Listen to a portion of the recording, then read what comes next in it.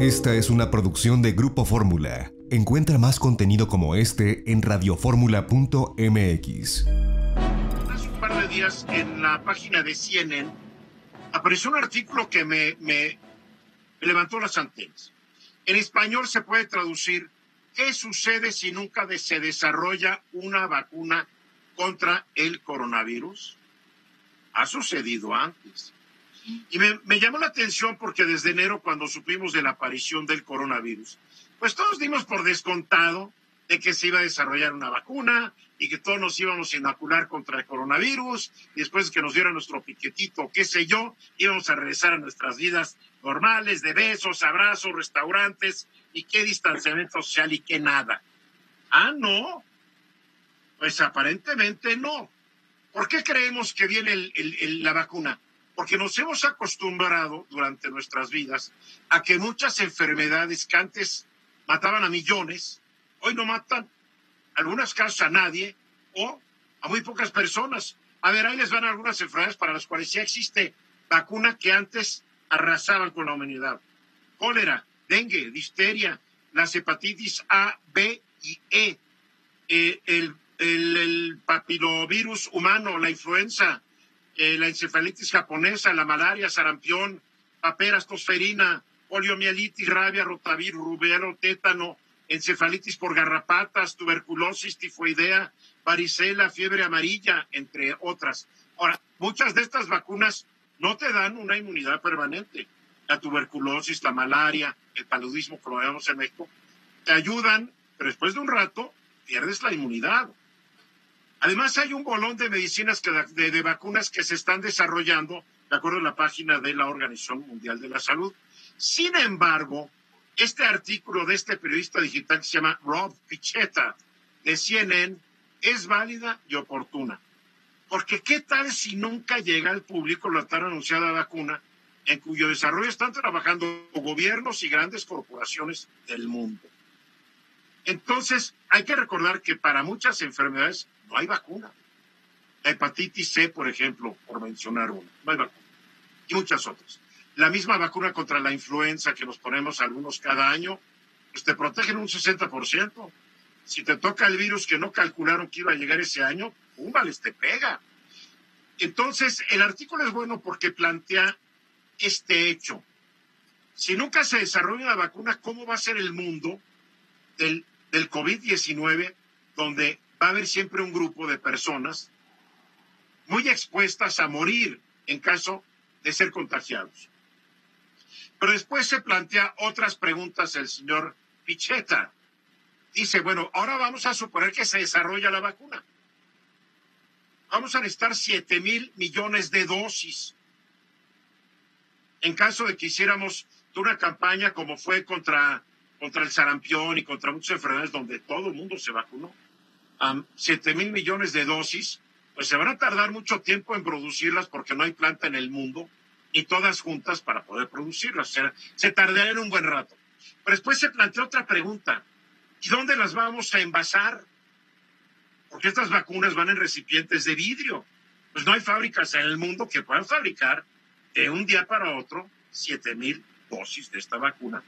Pero seamos menos exagerados digamos que la desarrolla Estados Unidos, por un presidente que dice America First.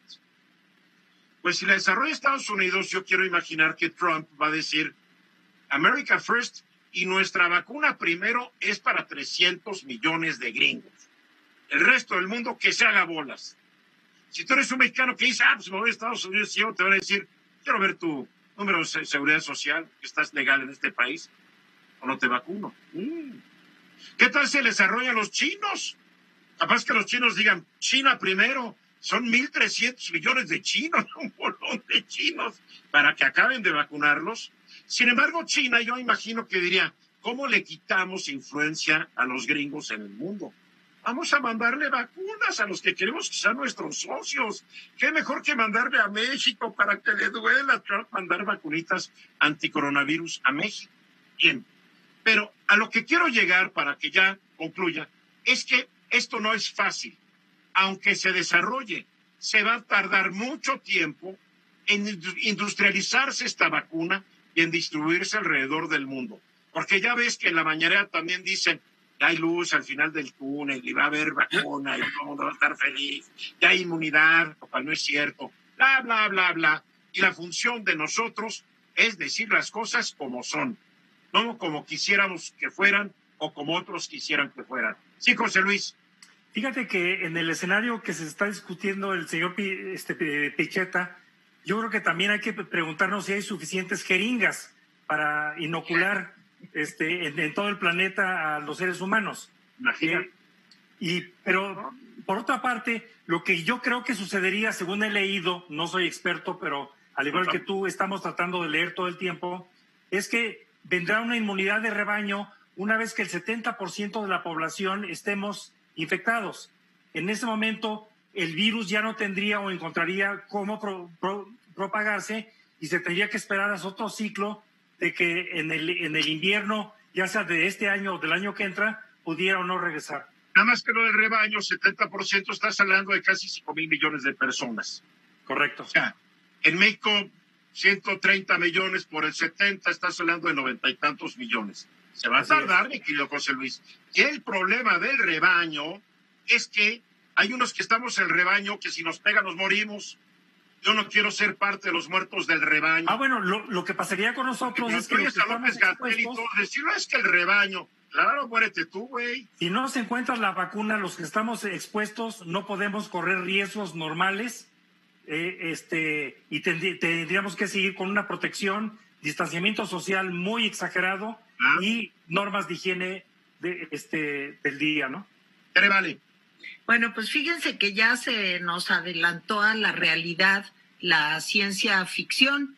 Hubo una película en 2011 que no sé si vieron, que se llamó Contagio, con Matt Damon, Jude Law, Gwyneth Paltrow, en fin, una gran película en donde sucede exactamente lo que planteó Eduardo al principio sí se logra descubrir una vacuna, pero ahora ¿a quién se le da la vacuna?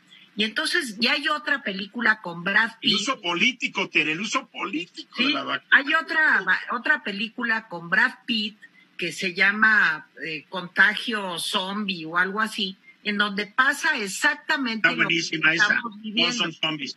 La de Brad Pitt. sido mejor una, Hubiera sido mejor ser zombies que la coronavirus, te diré, te diré. No estaríamos ahí de zombies. Pero, te voy a decir una cosa, el problema es la distribución y, y cómo le llega a cada persona potencialmente contagiable esto. Y ahí lo que hacen es que hay varias soluciones en la ciencia ficción. Una es, es un sorteo. Entonces van haciendo un sorteo semanal en donde se dice a quién le toca. Otra ah, es los más Pero mejor vemos la película, no nos platiques la película. Son tres películas. siempre se echa a perder las películas. ¿Quieres que cuente el final? No, cállate. Bueno, así está la situación. Hoy vamos a estar hablando mucho del coronavirus y del mundo que viene, pero hay que plantearnos estas preguntas. Gracias a este reportero de CNN, a mí no se me había ocurrido. Cuando le dije, ¿por qué no se me ocurrió? La cosa no es sencilla, no se ve la luz al final del túnel, no se la crean, ¿eh? Regresamos. Esta fue una producción de Grupo Fórmula. Encuentra más contenido como este en radioformula.mx.